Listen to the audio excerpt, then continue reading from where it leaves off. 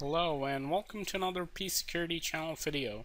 As we all know with uh, the new protection of Windows 8, Windows Defender preloaded in your system, you don't really need that much basic anti-malware protection. But how good is Windows Defender? I've already made a few videos on that, but today we'll be taking uh, this contest to a new level with a signature-based comparison test.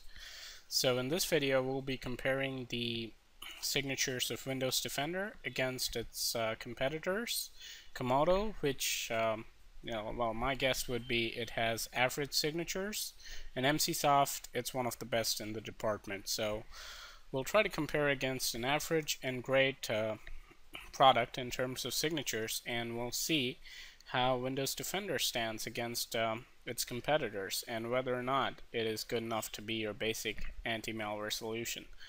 So I've got three folders of malware over here. Each of them have um, 339 items. They're all the same.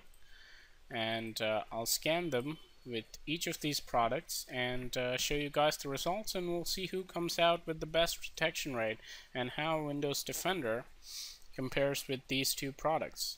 So first we'll go with uh, Comodo Cleaning Essentials. I'll do a scan and I'll be right back with the results. Comodo has finished scanning as you can see. So we won't restart because uh, we don't need to scan for hidden surfaces. So as you can see I won't be counting these files because they're just temp files created by Comodo. so let's see we've got 106 items. Which means Comodo gets a detection rate of 68.73%. Um, these files were really new.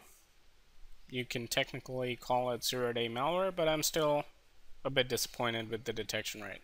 I was expecting it to be like around 75 to 80.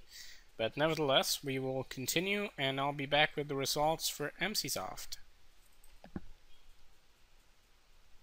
Emsisoft has finished scanning, so let's head over there and take a look. Okay, so we're only left with 23, so quite clearly Emsisoft has done a lot better. So that gives us a detection rate of 93.2%, which is pretty good. So now it's time for the moment of truth. Let's see how Windows Defender compares with these two products. So I'll be back once Windows Defender has completed its job. Windows Defender has done its job. Now it's time to check whether it has really done its job. And wow, we're left with only 39 items. Well, that'll give us a really impressive detection rate. That is 88.49%. So make no mistake people, Windows Defender has a really good signature database and it's doing really well. So unless you're using something like Emsisoft, it makes no sense to have another uh, you know, just an antivirus product. Of course, if you're using something like Comodo Internet Security that comes with a firewall and lots of other stuff that Windows Defender doesn't have, then maybe it might be a wise decision. But otherwise, compared to most basic anti-malware programs, Windows Defender does very well. So hope you guys enjoyed this little review. Hope it helped you to make your choices. And uh, subscribe and like this video if you did and uh, I'll see you guys in the next PC Security channel episode.